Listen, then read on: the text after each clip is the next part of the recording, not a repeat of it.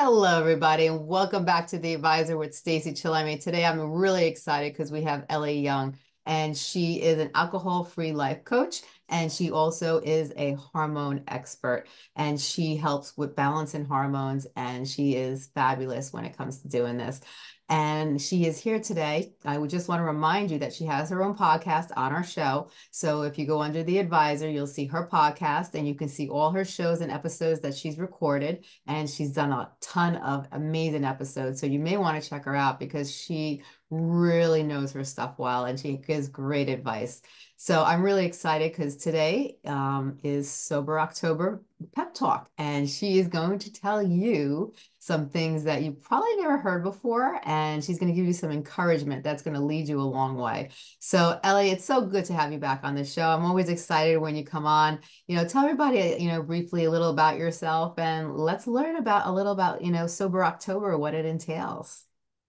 Yeah, so I'm I'm a certified alcohol-free life coach and turned hormone balancing expert, and that's really just kind of a snapshot of my own personal journey. I gave up alcohol in 2021 after a failed dry January, which is why I love sober October because these when these months come up in the culture, these opportunities where there's just this momentum of groups of people trying an alcohol-free lifestyle on, I get really excited because that's exactly where my journey began.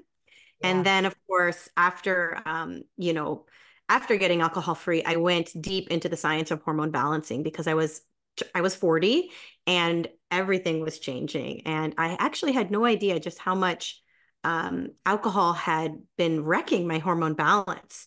And so that is the biggest motivators that I want to communicate to women out there listening that if if you were kind of on the fence about trying, you know, a dry month, one factor you should really consider is your hormone health because it is impacting your sleep, it is impacting your cortisol levels, it is impacting your blood sugar levels, and all of these things trickle down into your hormone balance, your sex hormones. And so often, a lot of the things that women are struggling with can be alleviated by cutting alcohol. And that's that's tough for a lot of women to swallow. They're just like, "But wait, don't take away my wine." I hmm. need it for all these reasons, right? You feel like I'm taking away your joy and I'm taking away your relaxation. And so those are exactly the types of thoughts that I like to work with with my clients throughout like a dry month like so um sober October is we say okay that's a, that all those re- all that resistance you're feeling and all that all those thoughts in your head that are coming up that is communicating to you exactly what is going on in your subconscious, these beliefs yeah. about alcohol that are keeping you stuck in the drinking cycle and and really controlling your behavior and not creating any opportunity for you to like go like, well, maybe I don't have to drink here and yeah. I can actually enjoy myself. Right. You know, I, I think we get caught up with society. We get the pressure of society. And like I was saying, sometimes, you know, you could be a leader you know and you know and you don't have to just be a follower but when you're in sometimes a situation where you're with uh, you know maybe a group of workers and or you're with you know a bunch of friends and they're all having dinner and they're all laughing they're all having a glass of wine or you know alcohol that they drink and you're they're you know they're like so what do you want to drink? And you know like you, you might you'd be on the cusp you know like ah i don't know. Well maybe i should. Ah well it doesn't really agree with me. I don't feel good the next day. Why am I doing that? And then you kind of give in sometimes, you know. And it's like mm-hmm. I think it's it's hard for a lot of people. Like, you know, a lot of people want to kind of fit in with their groups, you know. They don't want to be the awkward one, you know, and nobody else is, you know, saying anything. So they just go with it, you know. And I know people that will order a drink and they'll make believe they're having a sip, but they're not really drinking and they just order it just to fit in with the group, you know. How do you get out of that? Like, how do you really get enough of courage to really stand up for yourself and say, you know, I don't, you know, it's, you know, thank you so much, but you know, I don't, I don't really feel like drinking tonight, or I'll do a mock cocktail. Like we were talking about, it's like the biggest thing right now. It's so popular. Yes, yes. You know, there's a lot, there's a lot there, and I, I totally recognize that one of the biggest kind of hurdles for people to get over is that like social awkwardness, right? And I yeah. want to encourage you that like this again is come stemming from a subconscious belief that you need alcohol to socialize.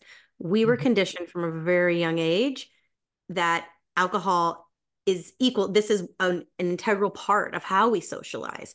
And yeah. so we've forgotten how to do it without alcohol. We any yeah. social anxiety that naturally comes up, we mm. assume like we need alcohol to conquer that. And we just yeah. haven't, we haven't learned any other ways to do it. And it is it is one, yes, it is awkward. Two, can you get over it? Absolutely. And there and can socializing be even more um, fulfilling without alcohol 100% and mm-hmm. part of that is because your brain is like fully online right when yeah. we think that it helps with our social anxiety it's really just dulling our brain it is really just taking our prefrontal cortex which is your most evolved part of your brain it's numbing it it's literally like sedating it and so yeah. not really more confident you're not funny you're not sexier you're not wittier it's really just quieting your brain, subduing you momentarily.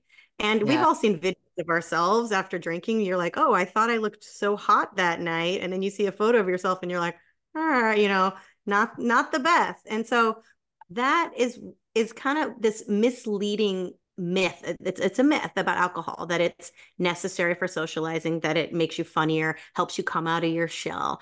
Um, yeah.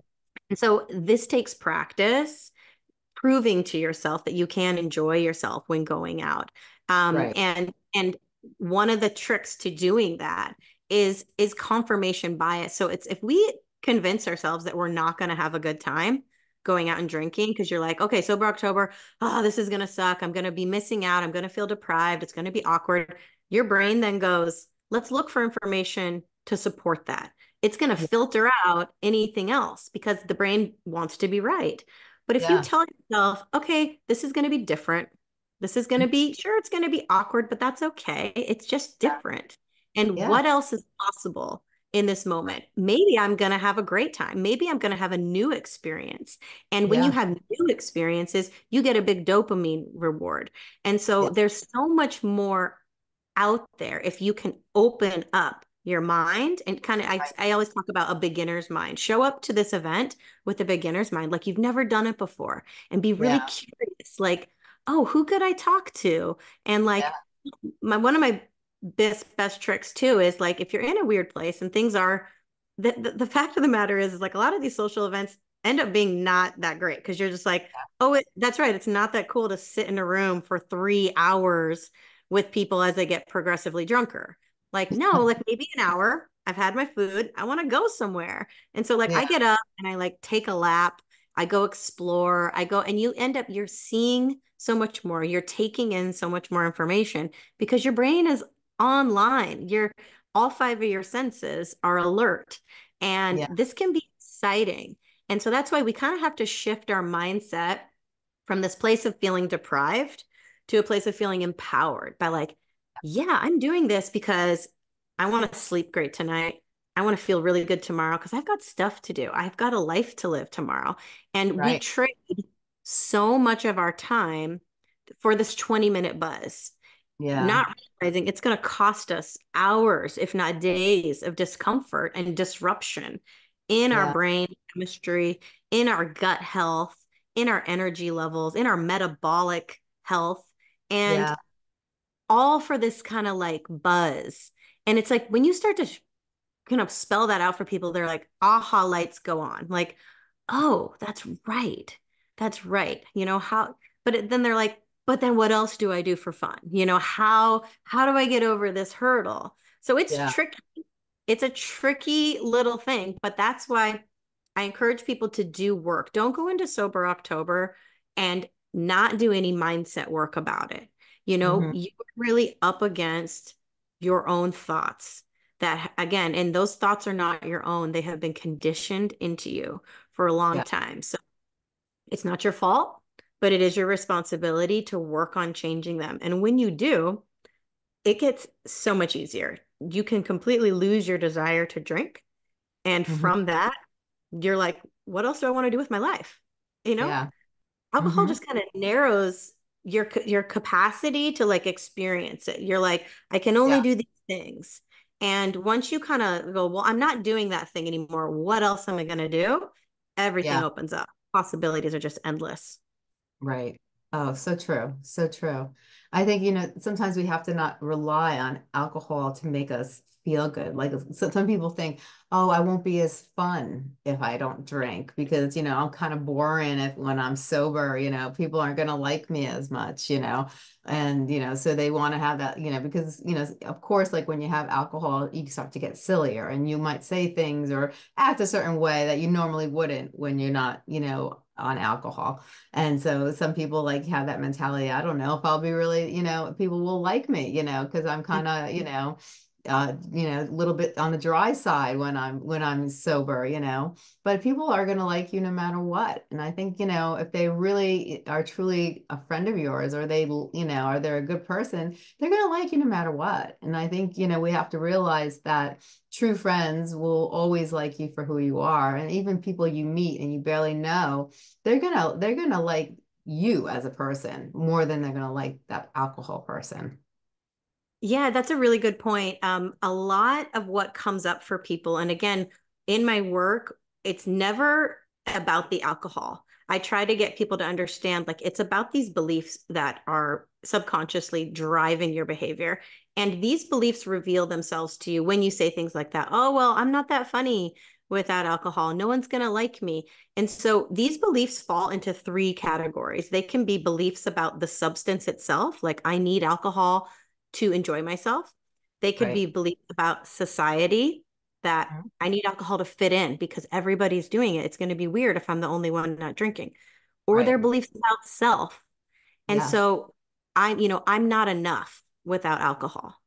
And so again, this exploration of these thoughts that come up, all this resistance. And so one of the things I have people do when they first start drinking or stop start start trying to stop drinking is make yeah. a list of all the reasons that they drink.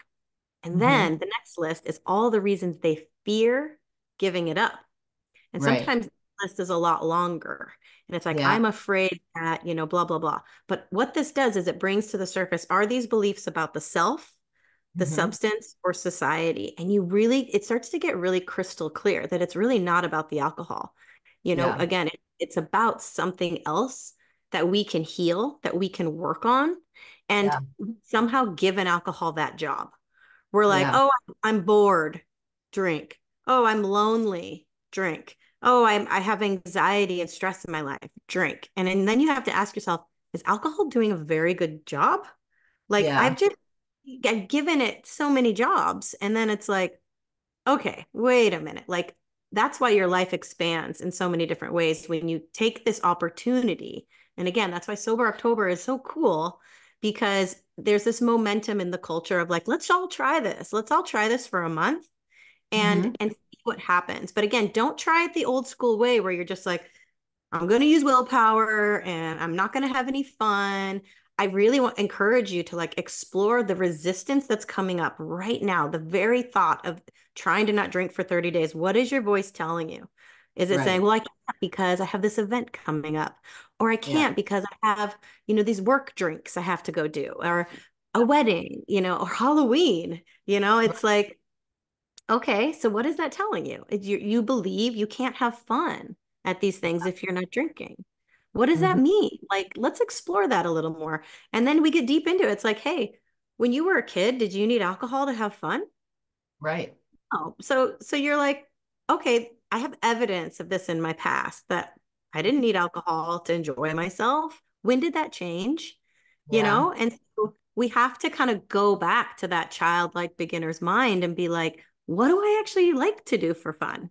You know, yeah. and this like this opening again where it's like adult behavior is actually pretty boring, right? We're often it's like we think it's exciting and we're all just like sitting together in a room with alcohol you right. know, kids are like, I don't want to do that. I want to go run around. I want to go like see something. I want to play, yeah. you mm-hmm. know? So part of getting alcohol free is like this playful exploration about like, what else is what else is there than drinking a neurotoxin, you know, to entertain right. myself? Yeah. hundred percent. You know, so many times I feel so much better if I don't drink, you know, like it, it's just, you know, and, and think about it when people have to go to work the next day, most people don't drink because they know they're not going to feel great the next day or they know they won't be up at their full potential. So if their body is, is, is if they know that it does that to their body why not be alcohol free all the time? You know do you really need that? You know so a lot of people say oh well it takes the edge off you know like you know it helps me deal with stress but you know there's so many other ways too that you could deal with stress. Stress is part of life you know and yeah. you know back to like addiction, you know, when and if you need something to cope, you know, like alcohol or drugs, then you have a problem. You know, mm-hmm. it's learning to just add different productive things to our lives. I think, you know, that we can incorporate the alternatives so we can live, you know, for our full potential, happy without the usage of alcohol in our lives. Yeah, exactly. Uh, it's a it's a coping mechanism. I mean, it's what is the best way I've heard it described? I think it was Gabor Mate described addiction as a comfort seeking ritual. And so at mm. the end of the day, we're trying to change our state. Whatever state yeah. of being we're in, we want to change it. And sometimes that's not even coming from a self medicating place. It's coming from like, oh, I want to enhance this moment. It's a beautiful day. What would make yeah. this better is a glass of wine. Um, yeah. all of this has been conditioned into us it's it's and it's living in our subconscious. Like we're not yeah. consciously aware of this stuff. These urges just come up and they're pretty strong. They're these cravings are pretty powerful and willpower can only take you so far. You know right. when you commit something like sober october you might be able to make it through your weekday a week week and then when you get to the weekend and you're like oh my entire system believes that there's a reward at the end of this work week and i reward yeah. myself alcohol and i go out and i cut loose and we think we associate all of the kind of relief of the mm. work week ending with alcohol we're t- yeah. we're giving it all this credit like oh alcohol is the thing that really is the the the icing on the cake at the end of the week when it's like no like your work is done you get to you know sleep in you get to like have some free time, you get to hang out with friends. All of these things are inherently great and good and restorative for your yeah. health. And yet we turn it all over to the alcoholic. Wow, I, I can't enjoy myself. I can't reward myself now. Um, yeah. And so again, like these little things where you just like let them marinate in your brain and go, whoa, isn't that interesting? Like I'm rewarding myself with this substance that actually like wrecks my sleep, makes me feel like shit um, derails me from any like progress I'm making in my fitness or my diet. And yeah. we're like, how is that a reward? You know, yeah. it's a trick. Mm-hmm. It's a true biochemical trick to our yes. brain.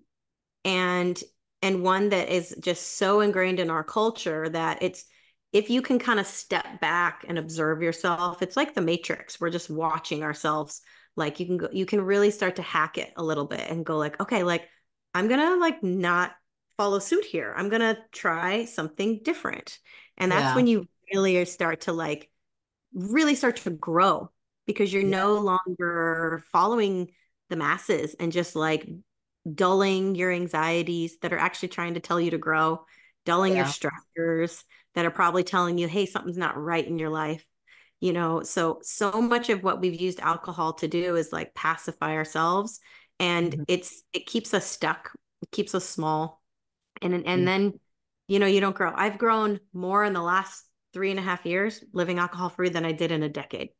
Right.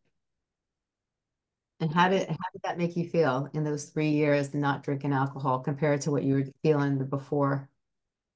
Well it wasn't easy and so the first again, that's why I love Sober October. So dry, my first try was a dry January. I, I didn't do it. I failed. In fact, I try I quickly adjusted it from not drinking at all to saying I'm just going to drink on the weekends because I was mm. drinking pretty much every night, not heavily, not like blacking out, just like glass of wine with dinner, a cocktail here and there, Taco Tuesday. There was just there was endless opportunities to drink in my community.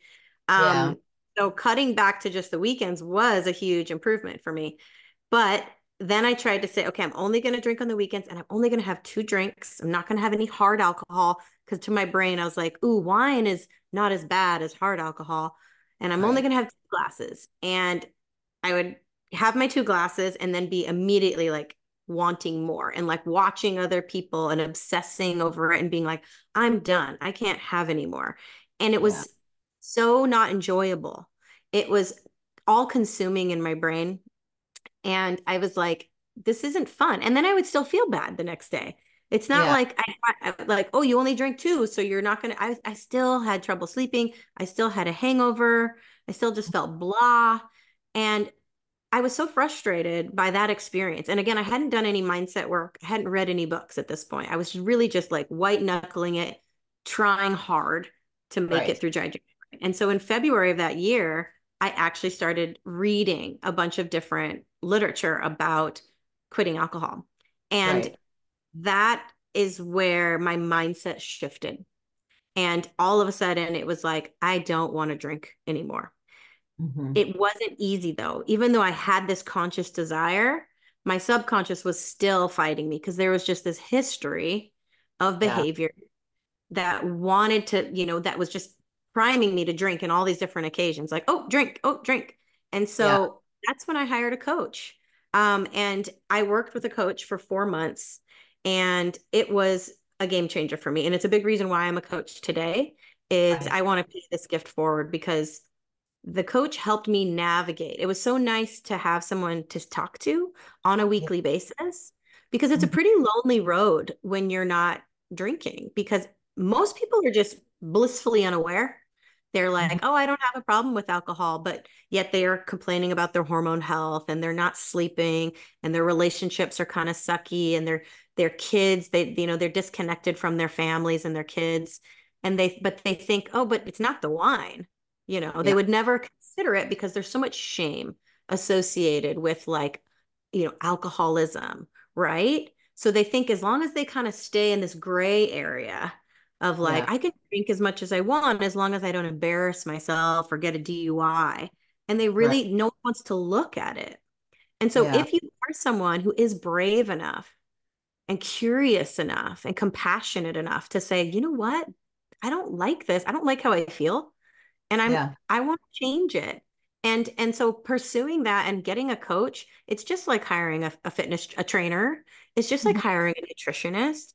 And there yeah. should be no shame in it. it. It should be celebrated because the pursuit of health in living an alcohol-free life is absolutely incredible. I would argue it's hard it's harder than fitness. It's harder than dieting because yeah. it is an addictive substance and it's everywhere in our culture. You know, yeah. I went to get my hair done um a couple weeks ago and i they offered me wine like on three different occasions or like champagne. Would you like a glass of champagne while you you know get your hair done? Would you and i, I finally had to tell them i was like i'm alcohol free and i'm actually like an alcohol free life coach. Like this is this is an interesting experience you know? And even after i said that i think one more time she just automatically offered me a glass of wine and i was like wow. Like if i were struggling and i was trying to be alcohol free and they offered it to me three four different times while getting my hair done yeah. like holy smokes. Like you know you have to be like really strong and and in this and it's not willpower. I want to i want to say that again. It is not you. It is not your fault if you are caving to drink. It is your conditioning and that yeah. can be changed and that is like exactly what the work is. This is, you are not fundamentally flawed. It isn't your genes. Yes. It is, it is your environment and mm-hmm. it is the social conditioning you've had. And so we can change that. And so that is a really empowered place to be is to think like, okay, I, this isn't my fault, but I can totally change my brain. And this is how you do it. And it's simpler than people think. It really yes. is. And kind of what my coaching courses do is they really we I, I, it's like a little three part system um, and I, I made it rhyme so it's fun it's called subconscious cracking which is where mm-hmm. we go after those subconscious beliefs the next yeah. part is called habit hacking that's mm-hmm. where we mm-hmm. really go after like your day-to-day habits and your environments that are shaping your life and the next part is dopamine stacking and that is where we build a life that actually feels really good because at the yeah. end of the day, after that high, we're after that buzz. And yeah. you you can replace these things with healthy behaviors that like help you grow that and and eventually you're like this life feels so good. I would never even think about going back to the other one. Right. Right. I love it. I love it. You know, it, it really is like it, you really have to have a strong mindset and you know, it's not your fault if something, you know, it, it doesn't if you if you fall, you make a mistake and you know, you have a, you know, a drink or something like that, but you know, it's getting back on the wagon and and just trying again, you know, and doing your best and and not beating yourself up because I think so many people beat themselves up after, you know, they they try so hard and they might have a slip up and then they they just it it just breaks them they just feel they feel like you know like a loser you know they feel mm-hmm. they have all these thoughts in their head of you know how good they're not you know and you mm-hmm. know it's really not like that you know it's i think you know you, you, should reward yourself each day that you know you you got that far you know but you know make it a like you said you know make it part of your mindset make it part of your lifestyle and and not mm-hmm. really think about it so much you know but just living the lifestyle and and being able to say no and be able to not be afraid to to let others know that you're alcohol free yeah that's a, another good point you brought up is just how ineffective shame is at changing us. You know if I, I like to joke that if shame worked none of us would have a problem right? We'd make a mistake we'd be so ashamed of it and then we'd be like i'll never do that again because that was so shameful. No in yeah. fact shame shame actually feeds our our self-destructive behavior. It feeds the self-medicating and stuff because we start feeling so much worse. We're like mm-hmm. oh i might as well i might as well self-medicate again you know? Um and I, I, did this for a long time and um i i was quietly secretly ashamed of my drinking knowing that like i needed to change and i just didn't know how. And yeah. and i was so filled with this idea that something was wrong with me. And the quickness that I was able to shift my behavior after learning about the subconscious mind and learning how to like flip the script on these thoughts that were keeping me stuck. Yeah. I changed overnight. And I was, I'm talking a daily drinker. I was life of the party. I hosted all the parties. Um, uh, there were there are people in my life who are still like, I can't believe you're an alcohol free life coach, you know? And to this day, I look back on that life and I'm like, it's not that I regret it. I I think it all led me to where I am. I think that I needed to be that person and then have this transformation so that I can help people.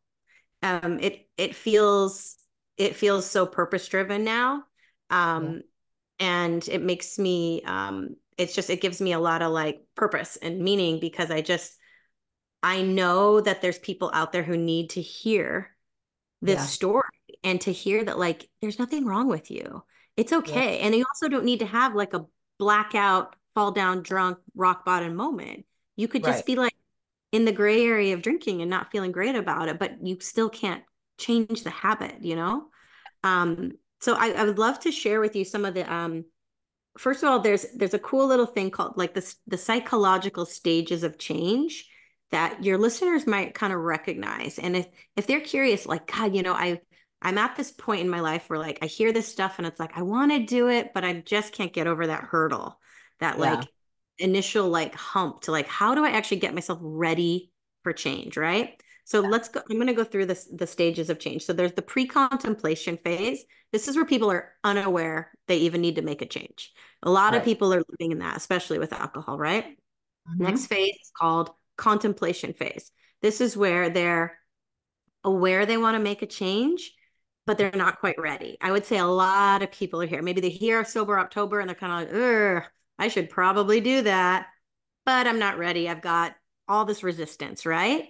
And then the next phase is preparation phase. This is where they're actually like determined to do something about it. Maybe they're putting some things in motion. They're starting to take some actions. Maybe you signed up for a course. Maybe you yeah. hired a coach. Maybe you bought some non-alcoholic beverages for your house. And you're right. like, okay, I think I'm gonna, I think I'm gonna do sober October, right?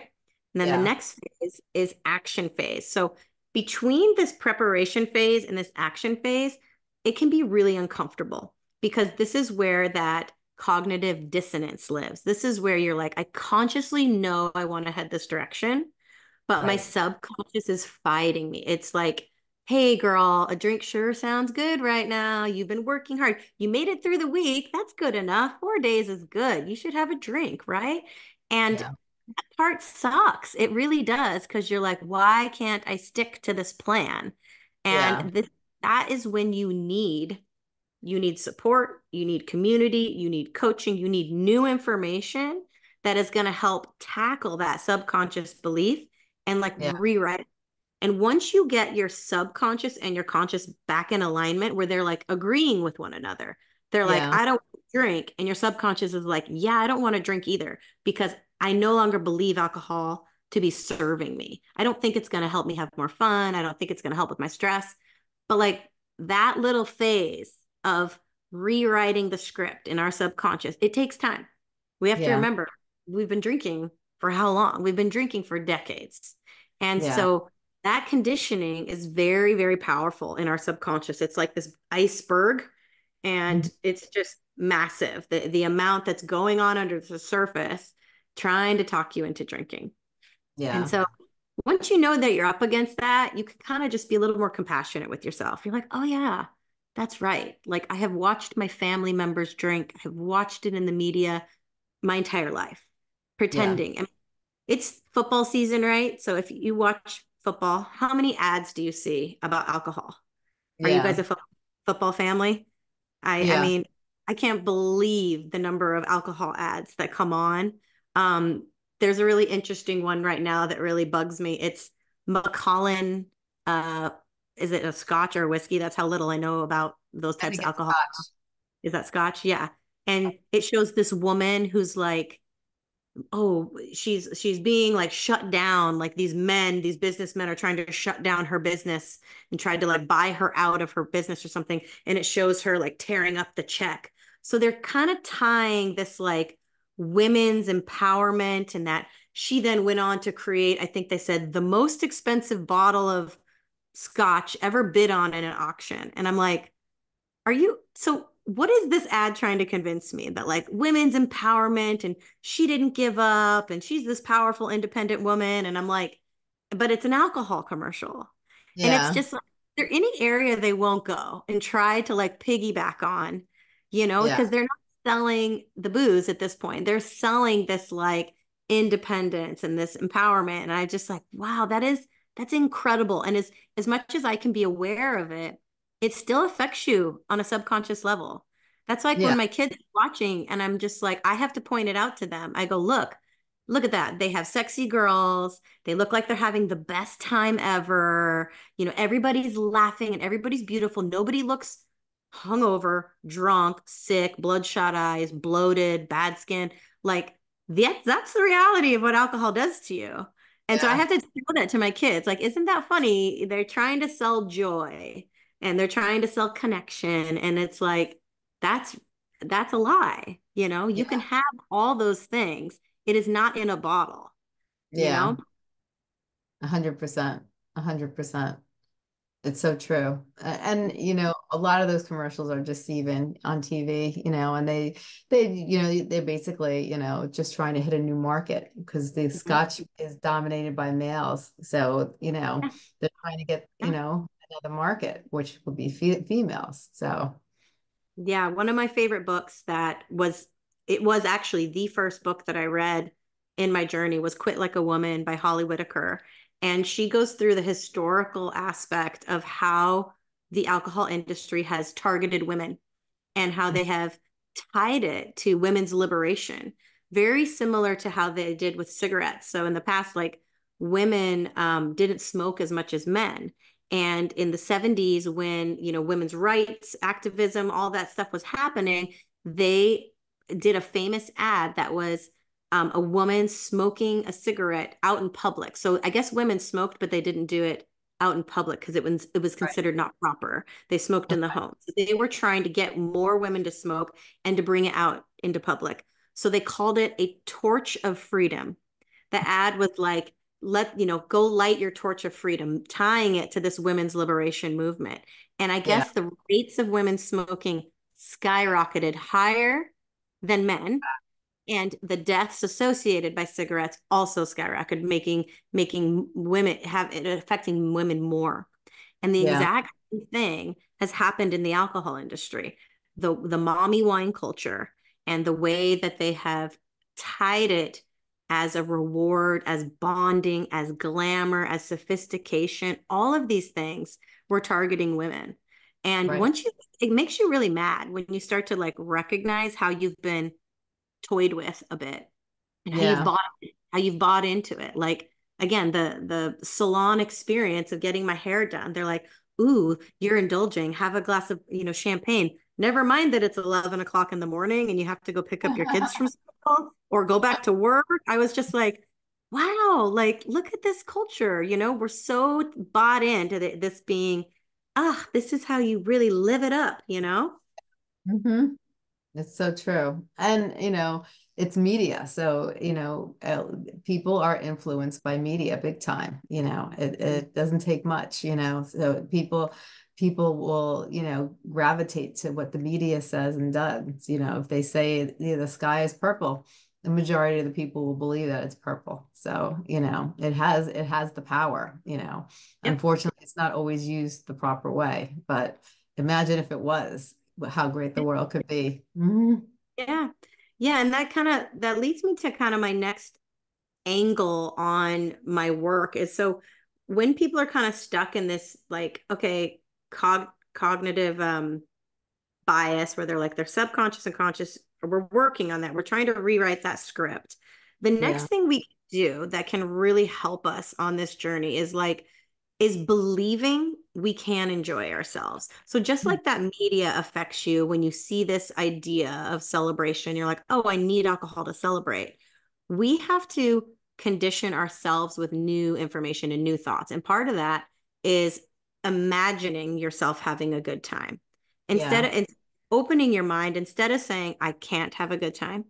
Not Yeah. only are you I want to I can, you need to actually visualize it. And Yes. you want to see it in your brain, see this possibility of you having a good time, non alcoholic drink in hand, laughing, connecting, and Yeah. really fuel yourself with that Mhm. positive imagery because the brain doesn't know the difference. The brain Yeah. starts to, oh, cool, this is a possibility. Now I can filter in information to support that idea because I've seen it. I've seen that it's true. I've seen it as possibility. And so this is confirmation bias and it can work for you or against you. So Yeah. if you want it to work for you, you have to write write the narrative that you want to see. Write this future self that is Yeah. thriving alcohol free and really believe in that. And this is again why this mindset work is so so powerful. Don't go into sober October and just try and do live your life exactly how you're living it and not change anything. Because Yeah. if nothing changes, then nothing changes. So you Right. start with the change up here in your mind. You create this new possibility for yourself. Yeah. And you you and any of that resistance that comes up, you catch those thoughts and you go, "Huh, is that true? Look at that. It was trying to talk me into drinking right now. Let's poke Right. holes in that. Do I really need alcohol to enjoy myself? No. What do I like to do for fun? You know, Mhm. oh, that's right. I like to do these things. And so it really is this month is about exploring. And what better time than a sober October when there's all of the sober, you know, resources are coming to the surface right now. There is countless non-alcoholic beverages to try, mocktails. Um, there are communities. There are like sober get-togethers going on. So I encourage you to like, don't do this alone. Go Mhm. find, tag a friend. Oh, that we, you know, we were talking about this before we started recording. A lot of people feel pressure when they show up and they're like, I don't want to be the only one not drinking. I don't want to say I'm not drinking and make people feel awkward.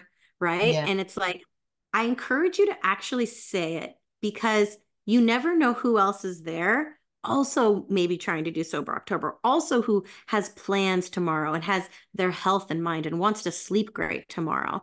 You know, I tell my husband this all the time because he goes to work meetings and I'm like, what if you just said, Hey, do you want to not drink tonight? Like at this Yeah. dinner, like give them an opportunity or window. You never know. They might be on the same, there's more people like that and they can be tipped in either direction. And so maybe they're going to welcome this idea of like, oh, yeah, that's right. I have to travel tomorrow. I've got kids. I would love to have a healthy night and go to bed early and sleep great and get up and go to the gym, you Yeah. know? 100%. Yeah. Yeah. I think I think that should be like a challenge. If you had to give everybody a, like maybe a, a sober October challenge, what kind of challenge would you like to throw out to the audience? Oh yeah, well, um, I mean, I've got a I've got an awesome program that I've put together called the Brave, and I called it the Brave. It's actually an acronym. It's a little cheesy, but when I was writing it, I loved it because it does. It takes a lot of courage to do something like this, and the B stands for believe. Again, it's believing that you can do this. Like, not just say I try. I've been joking with my dad, who's on this like weight loss journey right now, and we joke about I'll try, and it's like don't say try you know what's the Yoda? It's Yoda. It's like there is no try. There's do yeah. or do not do. And so right. that's exactly how I say about believe you. Don't just believe you can do this. Don't just say I'll try. Be like yeah. I'm I'm going to do this, you know? Um and then R is we are rewriting our subconscious beliefs. We are rewiring our subconscious and to to prove to ourselves that alcohol isn't necessary for us to live right. our lives. Um, the A is awe.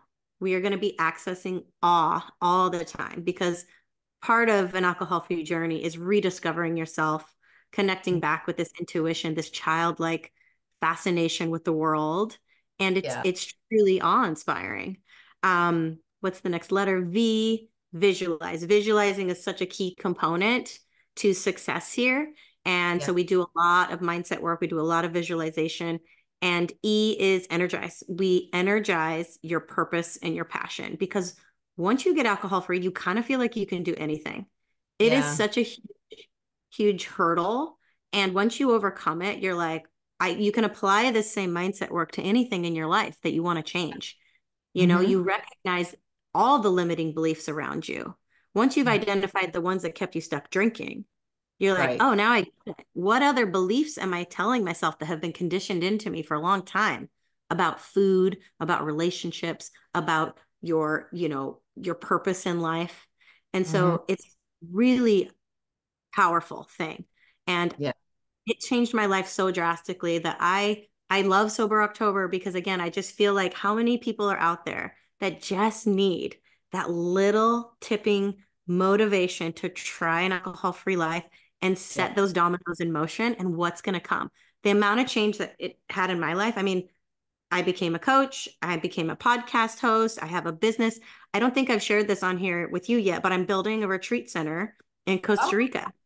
Yeah. Um, and spring of this year, for spring break, we went down to Costa Rica, not at all planning to look for land or buy, like not even on our radar, but it's something yeah. that I have manifested that I literally was like in my dreams like i i've journaled about it like i i see myself in this place coaching yeah. other women bringing them together and the opportunity presented itself in costa rica and my husband and i were like let's do this. And so i'm in the process of building a retreat center in costa rica.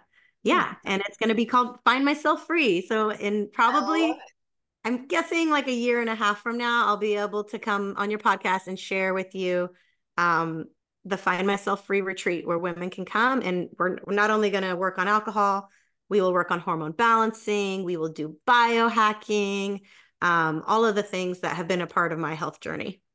Oh, I love it. How exciting is that? Oh my goodness. Congratulations.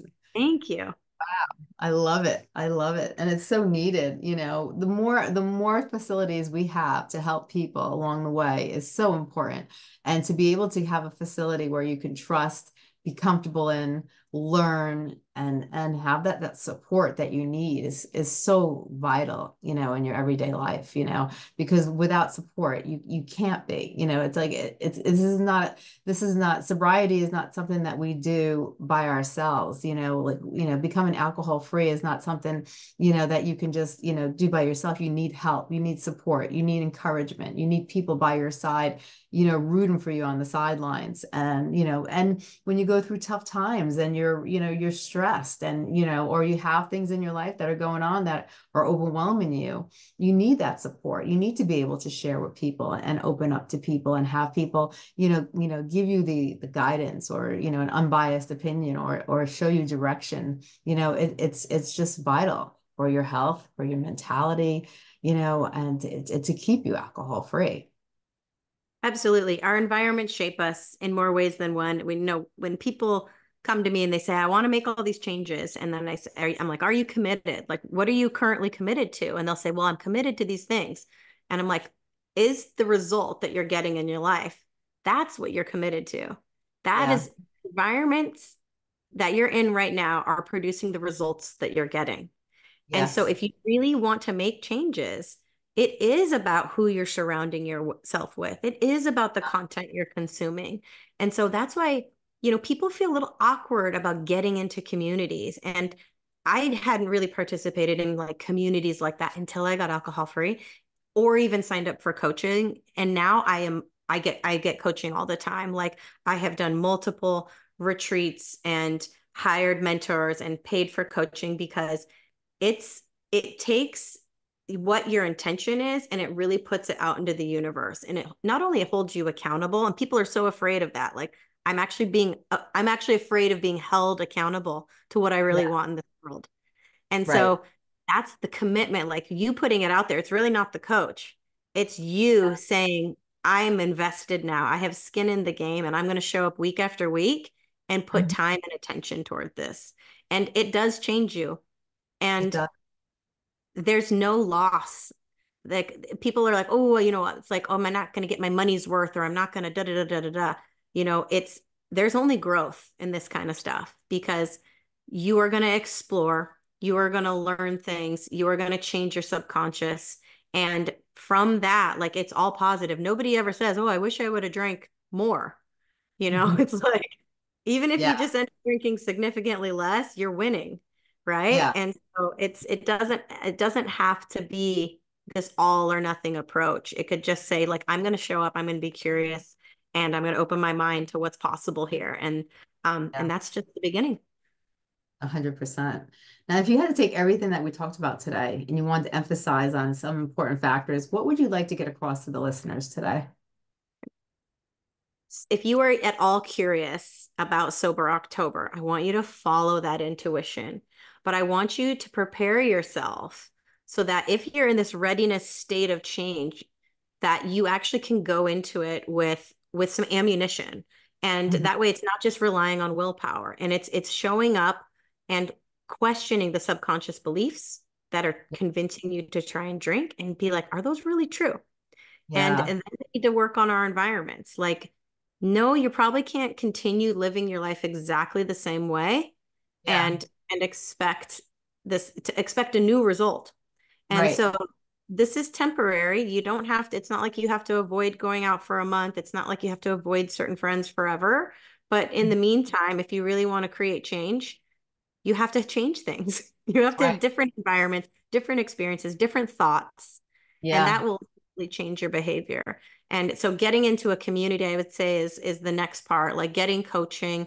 Um, of course, shameless plug, like I have an awesome course called The Brave. I also do one-on-one coaching. And for your listeners, I would love to offer everybody 20% off um, The Brave. So the use code what did we say? Uh, advisor. If they go to my website, it's findmyselffree.com and you find the brave, enter advisor at checkout, and you will get a 20% off. And um, this is the course that is filled with the exact lessons that we talked about today, but we go on a deeper level. And inside this course, everybody also gets a free call with me, a one on one call to really go deeper on whatever has you stuck. I love it. I love it. And tell everybody once again your website so they they make sure they realize. It's findmyselffree.com. And that is also the name of my podcast if you want to check me out over there. I love it. This has been awesome. Thank you so much for coming on the show today. I think it's so important for people to understand the importance of being able to do what you really want inside your heart. And if, you know, if you know deep in your heart, because people who are listening to this don't want to drink, you know, or they're trying to get off of alcohol, they wouldn't be on this podcast right now. So, you know, if if it doesn't set right with you, you know, I think the most important factor is eh, you you got across is to be have have the courage to say it's not right for me. This is not what I want, and to be able to actually take action and where they can get that the action and, and how they could start. So I, I think, you know, today's podcast was amazing. I thank you so much for sharing all this information and and taking the time out to, to help others. It really means a lot. Thank you. Thank you. Yeah, that's exactly why I named the course Brave because it it does take courage and um, courage comes from the Latin word meaning heart. And so to have courage means to move move from the heart. I love it. I love it. That is awesome. Well, hopefully a lot of people will have courage and they'll be brave enough to try your program and to be able to experience what it feels like to be alcohol free and to live life and to really understand and know the real you and to realize that alcohol doesn't need to be a part of that person in order for that person to shine. So thank you so much. Oh, thank you, Stacey. As always, it's a privilege. Oh, same here. You have a great day. You too.